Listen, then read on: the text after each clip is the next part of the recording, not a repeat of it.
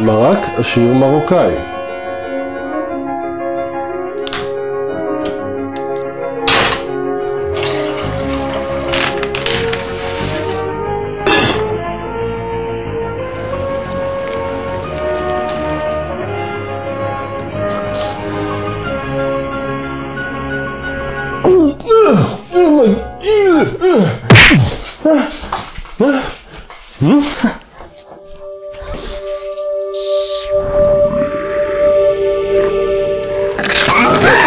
מרק מרוקאי. שלא תעז להגיד שאני לא טעים. תעז!